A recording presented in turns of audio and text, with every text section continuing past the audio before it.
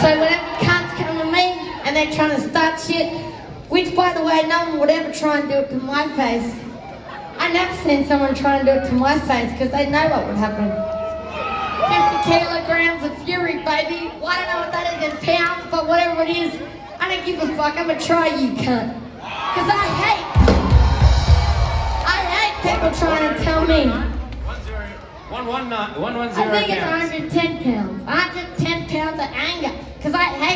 People try and tell me what I can can't do, or what is good and what is not good. Because usually when it's coming from somebody,